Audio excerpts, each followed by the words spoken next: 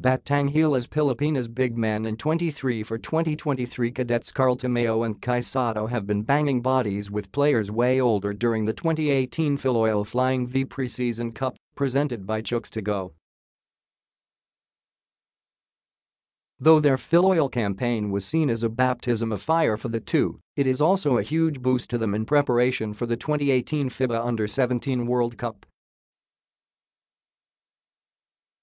In the group stages of the tournament alone, the two will face the up and coming big men of Croatia, France, and Argentina.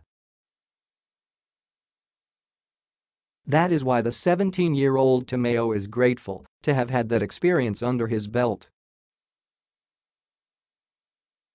Laking Bagay. Natuto Ako Maging disciplined at Patience Sa Court.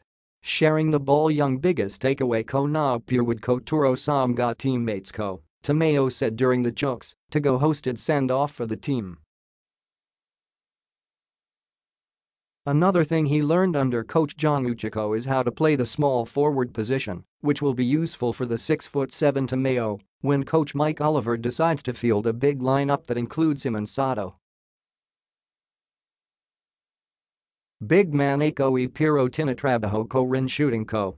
Sa World Cup sana madali ko ito, Tamayo shared. And come the World Cup, the future of Philippine basketball will be put to the test